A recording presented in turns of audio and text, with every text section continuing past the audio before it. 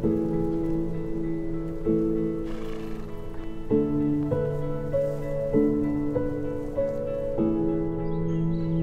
always said we wouldn't be a traditional family where the mom stays home and the dad goes to work, but somehow I feel like that's exactly what's happened. I would give anything to stay at home, look after Lindy, and do my work here, but I can't. And sharing experiences, not just with being parents, but with everything. I just, I don't want to lose us.